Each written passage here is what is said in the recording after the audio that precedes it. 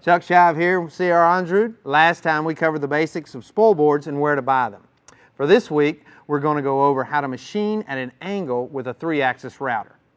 Many of you know where we're going with this, and some of you are saying, well, that's just not possible. But it is. All you need is an adjustable angle aggregate.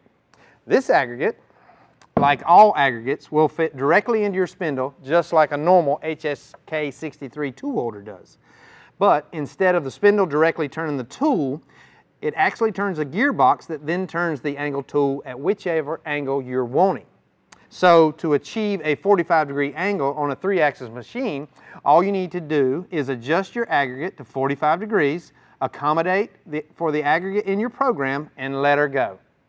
Now the advantages of using an aggregate like this is that you can run complete parts on your machine without the need for repositioning your part or having to add a second or third setup operation, or without the need for a five-axis machine. But hey, we do sell those as well.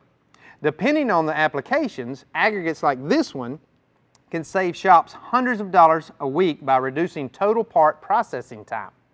To learn more about aggregates and which one may be the best for your application, give us a call to discuss. There are lots of other types of aggregates than this one, including saw aggregates, duo heads, belt sanders, and more that can significantly improve your shop's offerings and reduce your cycle times. As always, we appreciate your comments and feedback. Be safe, stay healthy. I'm Chuck Shive. Thanks for tuning in.